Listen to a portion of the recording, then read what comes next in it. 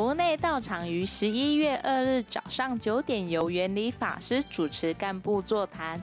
勉励干部带领学员踊跃参与以下事项：一、每月初一、十五诵经祈福；二、每月共修日；三、甲午千秋双十恭祝阿弥陀佛圣诞护坛法公及回世共修；四、恭诵佛说阿弥陀经四十八部以上。五、中华民族联合祭祖大典等事宜，